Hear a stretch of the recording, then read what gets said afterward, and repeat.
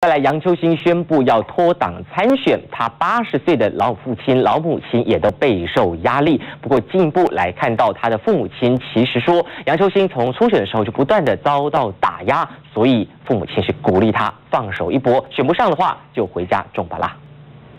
你该收，你没完没该收，哎，我没插人啊。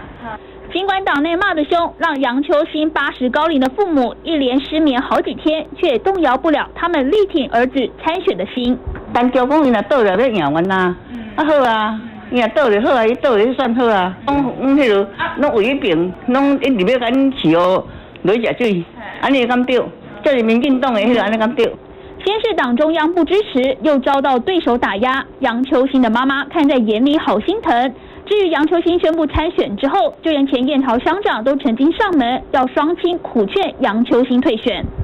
结完婚啊，忙就啦，多单足就啦。啊好啊，要选就咱可以选啊。系啦，那那有中选哦，就为民家服务啦，为国拍拼啦。啊，若无等下今年不啦，多三等。以后就归隐山林了。双亲力挺成了杨秋兴参选后盾，民党面临分裂危机，影响却是蓝营的票源，这样民调数字对黄昭顺阵营来说成了警讯。T B B 新闻林一邦李嘉欣高雄报道。